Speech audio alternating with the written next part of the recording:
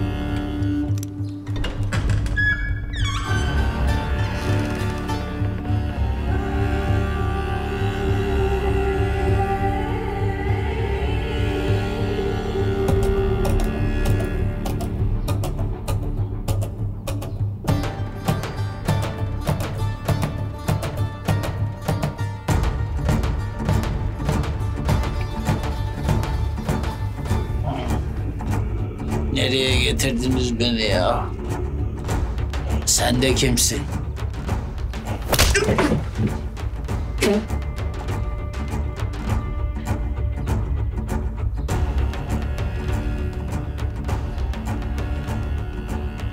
Sen...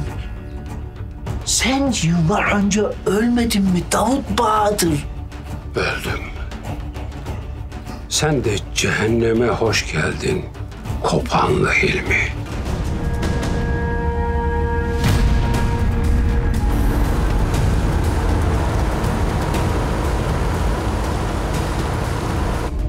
Çok şükür o günleri de gördük.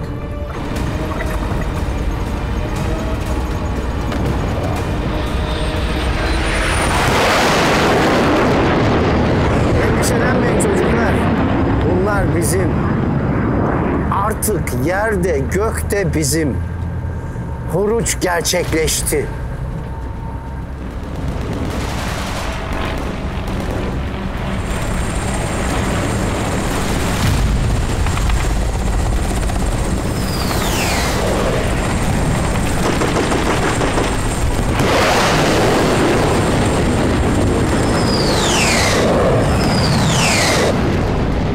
Durdurmalarına müsaade etmeyin.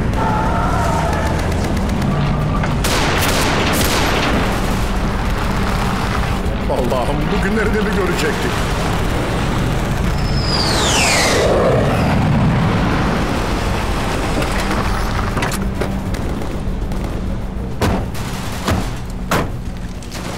Yüzbaşım.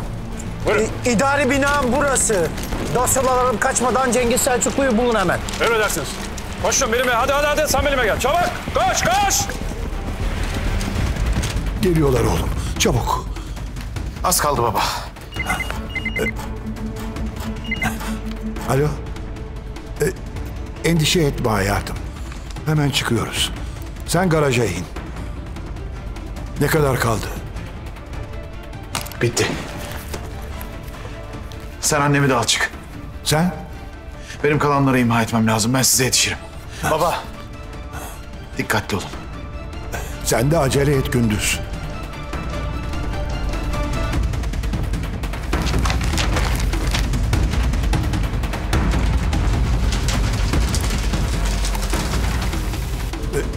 Burayı boşaltıyorum.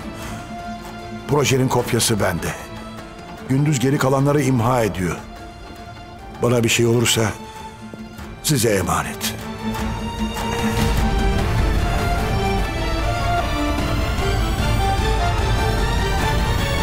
Gündüz nerede? Geliyor. Hadi oyalanma. Korkma. Korkmuyorum. Alnımıza ne yazıldıysa başımıza gelecek de odur Cengiz. Hadi, hadi oyalanma bin.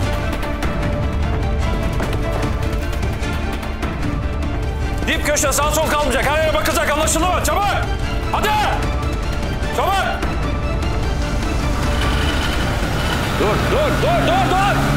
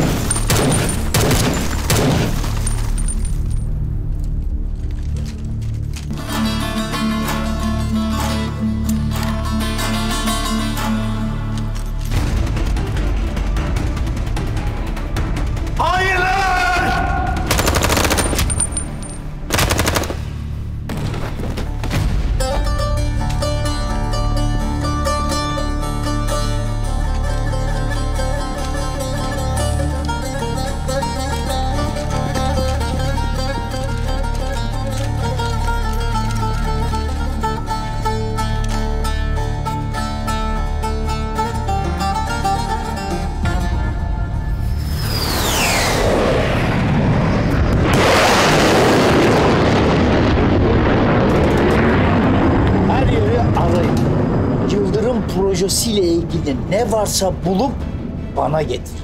Emredersiniz. Hadi beyler hareket hadi hadi. Çabuk.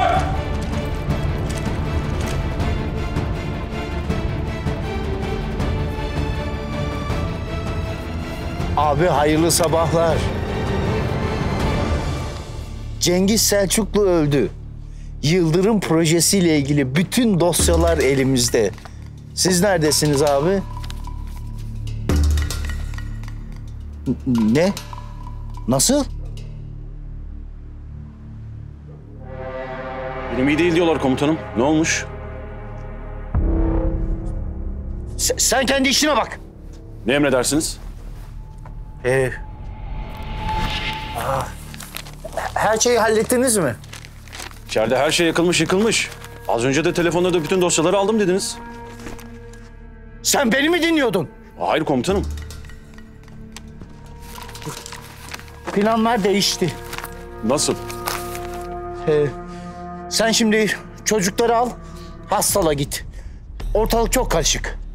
Buradaki işimiz bittikten sonra helikopterle Kınca'ya gidecektik. Dosyaları oraya teslim etme görevi verilmişti zaten. Dosyaları kime teslim edeceksin yüzbaşı? Herkes kendi can derdinde. Çocukları al, hastala git. Bu bir emirdir. İkimiz de aynı yerden emir aldık. Bize ne görev verildiyse onu yapmak zorundayız.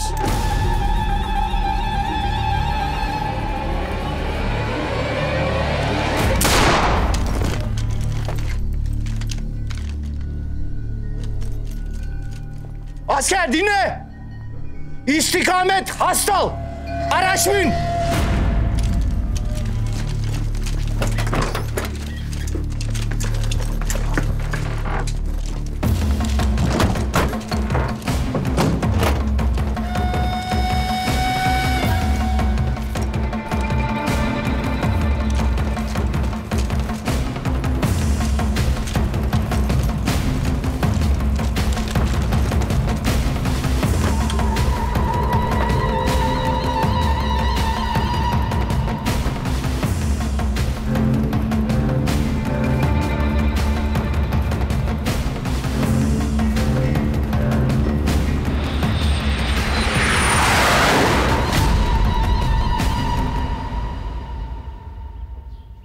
Yıl giydin o şerefli üniformayı? 36 yıl o kamuflajın kahrını çektim.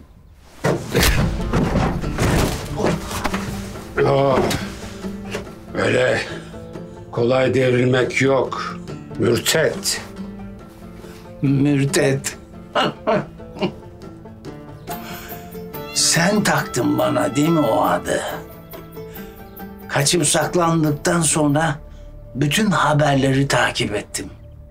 Hem içeride hem dışarıda herkes o adla arıyordu beni.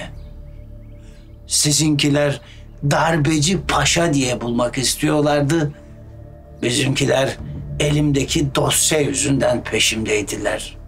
Mürtet aşağı, mürtet yukarı. Ama aklıma geldi biliyor musun? Davut'un işi bu dedim. Tabii. O koyar bana böyle bir yaftayı. Ama o öldü. Öldü be. Davut. Ben beş yıl saklanamadım. Sen yirmi yıl nerelerdeydin? Lafı güzaf. Boşa harcama nefesini. Canım Cengiz'imi, ailesini katlettin. Yıldırım projesini çaldın. Sonrasını anlat. Dosya Ankara'da Akıncı Hava Üssü'ne teslim edilecekti. Oradan da Amerika'ya gidecekti. 16 Temmuz sabahı bütün planlarımız gibi bu da yattı.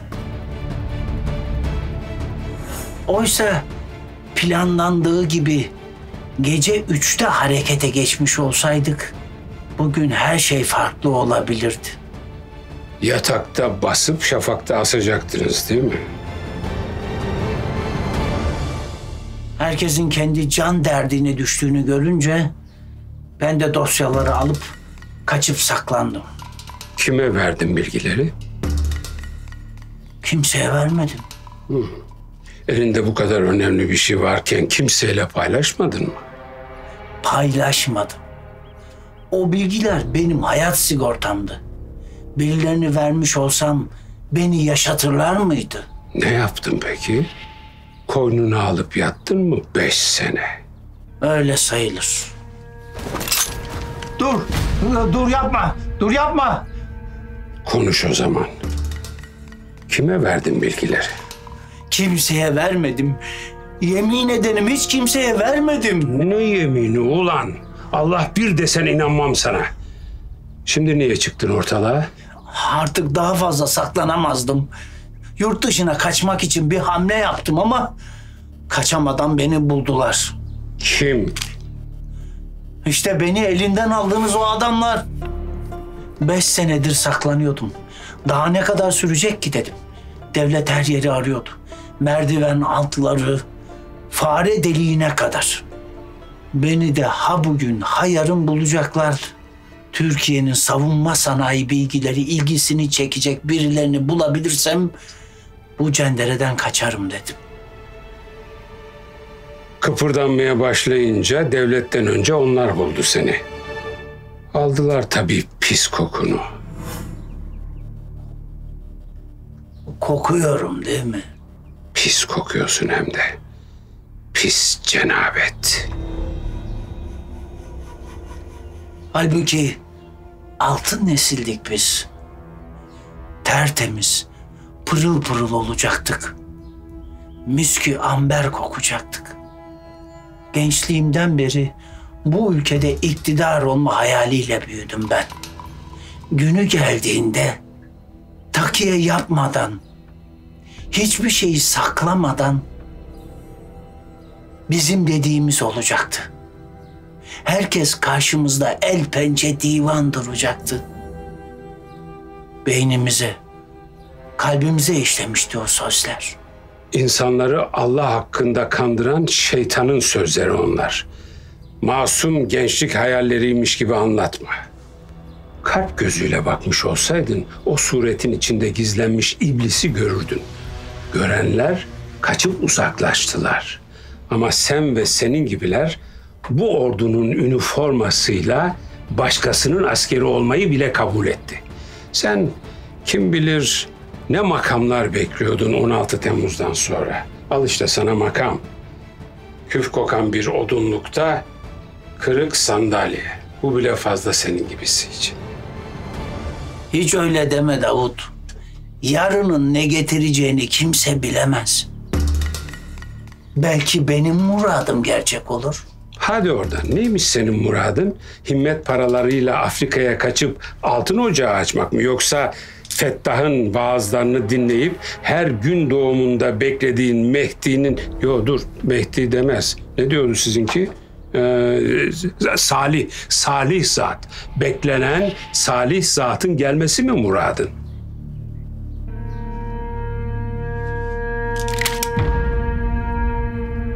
Bir sıkımlık canın var Kopanlı.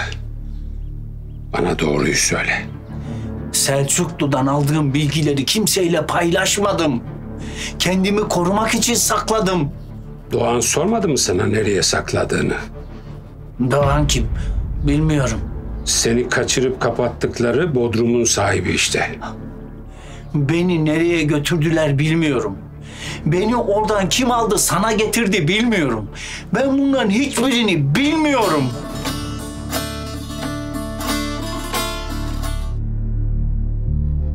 Vatanı sayfa sayfa sattın.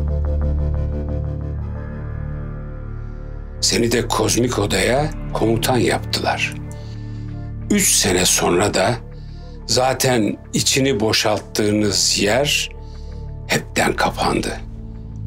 Kapısına kilit vuruldu. Başarılı oldun diye madalya vermediler mi sana? Şerefsizlik madalyası. Vermediler. İstedikleri her şeyi bulamamıştım çünkü. Yıldırım projesi. Evet. Nasıl olduysa birileri o projeyle ilgili isimleri, bağlantıları hepsini saklamayı becermişti.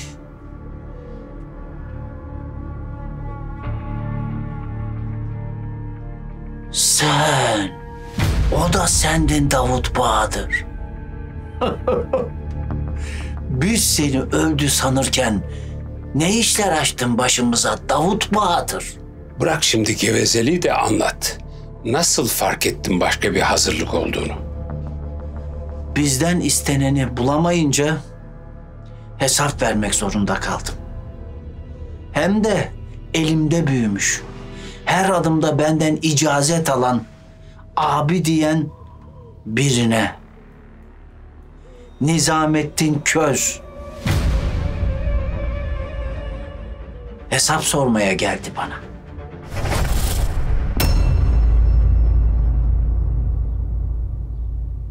Yavuz Yıldırım'ın ölümünün üzerinden 10 yıl geçti. Hala proje dosyaları elimizde yok. Amerika'dan bana bunu sormak için mi geldin Nizamettin? Evet. Ama kendi inisiyatifimle değil. Görev verildi. O yüzden mi sorgular gibi üstten üstten konuşuyorsun abinle? Konu biz değiliz. İkimiz de emirlere göre hareket ediyoruz. Ben sadece kainat imamımızdan emir alırım. Sana beni sorgulama yetkisini kim verdi?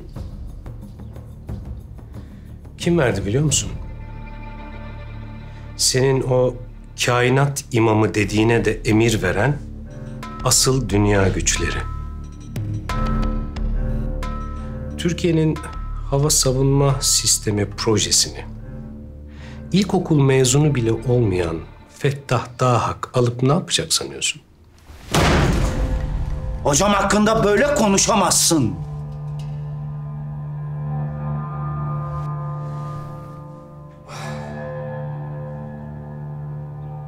O da emir kulu. Kopanlı Hilmi. Onu söylüyorum. Ona 150 milyar dolarlık dünya imparatorluğu kurduranlar da beni sana hesap sormaya gönderenler de aynı. Okyanus ötesinden büyük patronlar.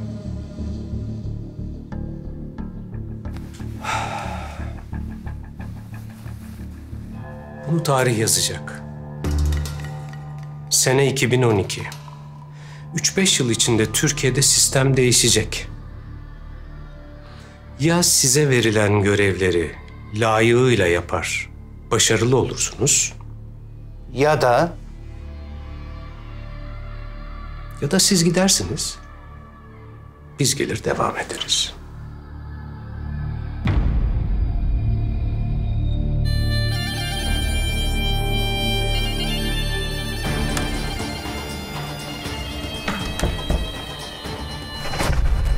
Nizam'ın dediği oldu. Biz gittik, onlar geldi. Başka kimi tanıyorsun bunların içinden? Hiç kimseyi. 15 Temmuz hazırlıklarını ve sonraki planları bilen herkesi devre dışı bıraktılar. Nizam'la son görüşmemizde nasıl bir yalanın içinde olduğumu anlamıştım. Bade Harabül Basra. Doğru. Basra harap olduktan sonra, iş işten geçtikten sonra. Ama batmıştım. 16 Temmuz sabahı millet bizimkileri önüne katıp kovalamaya başlayınca ben de kendi derdime düştüm. Projeyle ilgili bütün bilgileri toplayıp Cengiz Selçuklu'nun da zürriyetine son verip kaçıp saklandım. Senin gibi pisliği toprak bile saklamaz. Artık bırak beni. Ne gelecekse başıma razıyım. Sonra ne yaptın? Hepsini anlat. 16 Temmuz sabahı anladım ki gidecek hiçbir yerim yoktu. Makamım, lojmanım her yere devlet el koymuştu. Beni de yakında alacaklardı. Gidecek tek bir yerim kalmıştı. O gece bizi İstanbul'dan Ankara'ya Amerikalı bir şirketin helikopteri götürecekti. Onlara da ulaşamadım telefonla. Ama biliyordum yerlerini. Dünya yıkılsa onlara bir şey olmaz diyordum. Gittim. Herkesten önce onlar kaçmışlar. Ama elimdeki dosyalarla sokakta dolaşamazdım. Ben de o binaya sakladım. Hala orada durduğunu ne biliyorsun diyeceksin. Eminim. Yoksa niye peşime düşsünler? E bu kadar sene sen niye gidip alıp kaçmadın bu ülkeden diye soracak olursan o da senin problemin. Davut Bağ'dır. Adrese gidince göreceksin. Alabilecek olsam çoktan alıp kaçardım bu ülkeden. Benim o gece rahat rahat girip dosyaları sakladığım binanın çevresinde artık kuş uçurtmaz olmuşlar. Oraya kimi yollayacaksın bilmiyorum ama becerikli, akıllı ve korkusuz olmalı.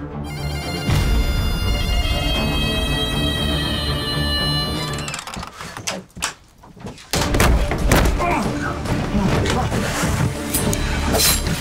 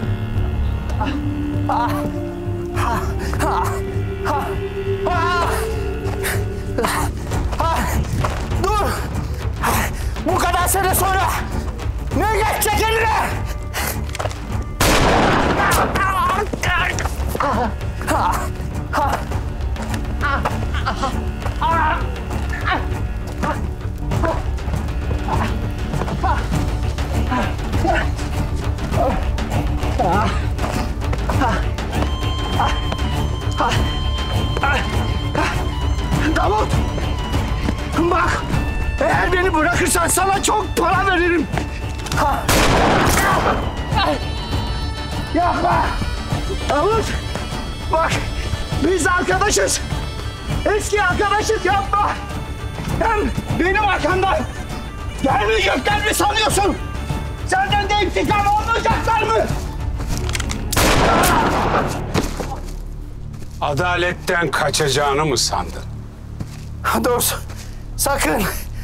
Al. Öldürme. Öldürme beni. Bak sana çok önemli bir bilgi vereceğim.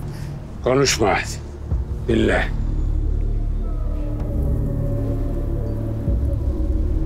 Bu daha önemli. Evlat, ben bunu devlete teslim edecektim. Ama kaçmaya kalktı hain. Planlar değişti. Biz yolun sonuna geldik. Sen hazır mısın? Hazırım kumandan. Beni hatırladın mı? Yok. Tanıyamadım oğlum. Babamı vurdun altı sene evvel. Oğlum deme bana. Annemi vurdun. Beni de vurdun. Ama ölmedim. Cengiz Selçuklu'nun oğlusun sen. Biz vatansever anne babaların oğulları, kızlarıyız. Kırılmayız. Tükenmeyiz. Vazgeçmeyiz. Sizin bütün çabalarınıza rağmen Yıldırım projesi hayata geçiyor. Siz bütün hainler, şer odakları, dahili ve harici bedahlar, cebren ve hileyle aziz vatanın bütün kalelerini zapt etseniz, bütün tersanelerine girseniz, bütün ordularını dağıtsanız, memleketin her köşesini bil fiil işgal etseniz bile biz Türk gençliğiz. Vazifemiz Türk istiklal ve cumhuriyetini kurtarmaktır.